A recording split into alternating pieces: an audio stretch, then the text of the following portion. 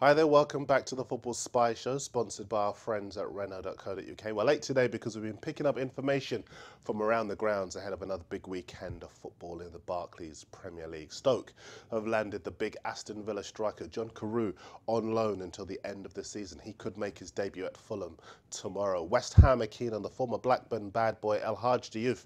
He had his contract terminated on Thursday night. The word is that Benni McCarthy could go the other way in part exchange. And the Arsenal boss Arsene Wenger has confirmed that he's prepared to let Aaron Ramsey go out to Cardiff, uh, his old club, on loan. Elsewhere, Sky Sports News reporting that Manchester United could be about to let Owen Hargreaves join the Vancouver Whitecaps in the MLS. Uh, Hargreaves has had terrible problems, as you know, with injuries at Old Trafford this season. And I just wonder we could see United go now for the Real Madrid midfielder Lassana Diarra. Spurs like him. Harry Redknapp has today confirmed that he was in Spain last night.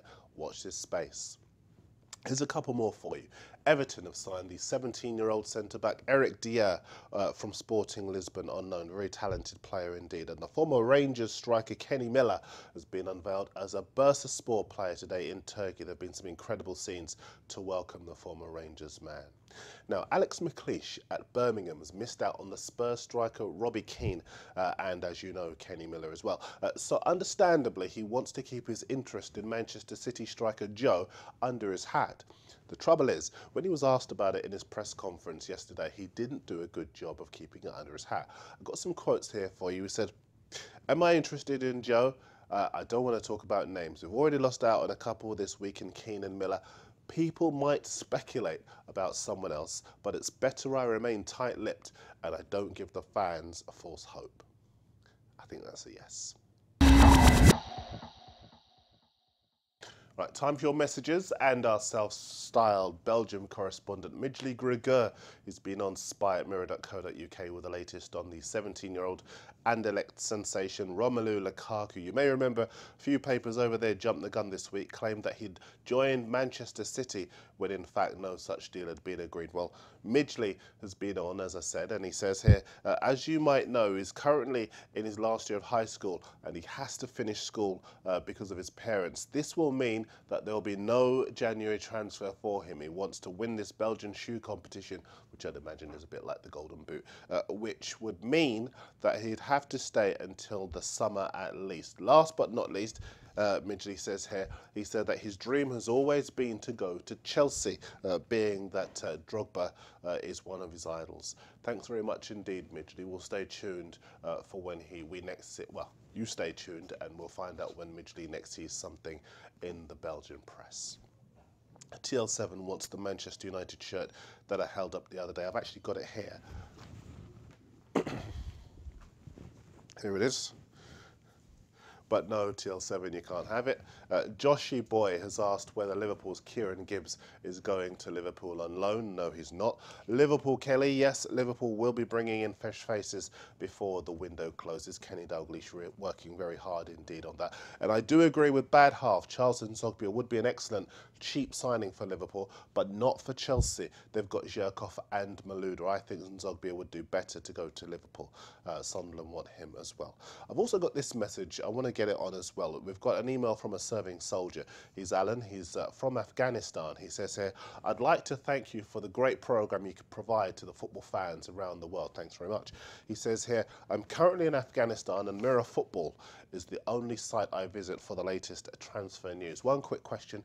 Do you think Man United's current squad is good enough to win the league? I think they're lacking a good attacking midfielder. Well, thanks very much indeed for the letter, Alan. I do agree uh, with what you said about United. Most teams that win the league got, got lots of goals from midfield. Lampard had them for Chelsea last year, Ronaldo the season before that uh, for United. It's probably why United being linked with the Borussia Dortmund playmaker Shinji Kagawa. Uh, he's 21 year old, but his club say that they're not interested in selling him. I do think, however, United do have the experience to win the title. Now, because it's Friday, I'm going to read you another uh, uh, slightly long one as well. It's from Luis Cardoso. He's in Chicago, Illinois, in U the USA. He says, Hi, uh, Spy. First of all, I'd just love to say that you guys are doing an amazing job. Thank you very much. He says, Can I just add, you guys should have a TV deal or something? I don't know about that. Um, and he also thinks that we should have a one-hour show. I don't know where you're going to see what we could put into a one-hour show, Luis, but thank you very much indeed.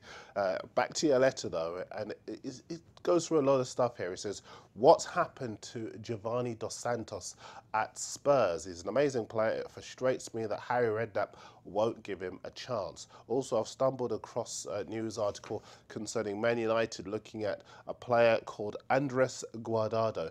Can you see what you can find out on him, please? Well, two things for you. Uh, firstly, Dos Santos is indeed a good player, but the word at Spurs is that he just doesn't work hard enough, and that's why he isn't in the first team picture. As for Guardado, for those of you that don't know, he's a 24-year-old Mexican left winger with impressive crossing ability. He plays for Deportivo La Coruña in Spain, and he's a key man for that club. Can't see United going for him though. It cost a lot of money, and they've got Obertan as a young player coming through. They also still have Giggs Park, uh, who can also play on the left, and also Nani, who's having a very good season indeed. Let's take you around planet football for a European roundup. In Germany, Zenit St. Petersburg have made a reported £12.7 million bid for the Germany striker Lukas Podolski. In France, Bordeaux have been forced to accept defeat in their efforts to land the Lorient striker Kevin Gameiro. He's 23, he's been linked with a move to England. West Ham have looked at him, but he's very uh, much in favour of a switch to Spain. Also in Spain, reports suggesting that Barcelona's right back Dani Alves has rejected a new contract offer. Uh, Manchester City have been linked with him. In Italy, keeper Gianluigi Buffon has expressed his desire to remain at Juventus until the end of his career. And also in Serie A, AC Milan keeping tabs on the Borussia Dortmund defender Marcel Schmelzer. He's 22, he's come through their youth academy and he's doing very well indeed. Back to the Premier League and the new Ipswich boss Paul Jewell has made an inquiry about Blackburn defender Pascal Chimbonda, uh, but he shouldn't have bothered as Sky Sports are reporting that Blackburn have torn up his contract. They're also reporting that Aston Villa have joined the hunt for the highly rated Leeds midfielder Bradley Johnson scored the other night. PSV and Ajax want to sign Eidur Gudjohnsen from Stoke. He's quite clearly lost his hunger after winning things at Barcelona. And Fulham boss Mark Hughes expressed an interest in taking the Chelsea starlet Gael Kakuta to Fulham on loan, just like we told you yesterday. And just back to Spurs, because I was at the press conference this morning and Harry Redknapp answered directly some questions about various names that were thrown at him. This is what he had to say. Uh, Giuseppe Rossi at Villarreal, good player, not available. Uh, Hulk at Porto, no, not going to happen. I couldn't say that we're close to doing anything with anyone else. As for the whispers linking Spurs with the uh, striker Roman Pavlyuchenko with a move to Sunderland, Harry Redknapp said, no, I doubt it very much. I know Steve Bruce is looking for a replacement for Darren Bent, but that's it. Competition time sponsored by our friends at Renault.co.uk. Today's your last day to enter as the games, of course, are all tomorrow. You know how it works by now. Tell me the total number of goals scored in the following four games which take place tomorrow. They are Arsenal against Wigan, Aston Villa against Manchester City, Man United against Birmingham, and Wolves against Liverpool. Just those four games count. No other games are involved. And just to clarify, it's not enough to get the answer right. I have to pick you at random for you to win a shirt just like this one here. Now, Arsenal fan is from Vancouver, Canada. It says that the total number of goals scored will be 14. Uh, Alex is in Almeria in Spain, thinks there'll be 15 goals. Matthew's in Los Angeles, he's a Liverpool fan, says that there'll be seven goals in the four games. I don't think so. Uh, Lackey the Leprechauns in London, he's an Arsenal fan, thinks there'll be 11 goals scored. Uh, Diana Nagar was from Minnesota in the US. She says here, I love your show. My boyfriend's a huge fan uh, of Arsenal and he got me addicted to football Spy. I think there will be 14 goals scored and thank you for an amazing show. Thank you very much indeed. Uh, just one more.